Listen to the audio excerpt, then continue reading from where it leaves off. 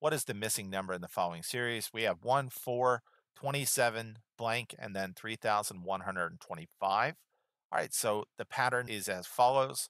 We have 1 to the 1. 1 to the first power is 1. We have 2 squared. 2 times 2 is 4. 3 to the third. 3 times 3 times 3 is in fact 27. So that must mean our missing number is going to be 4 to the fourth.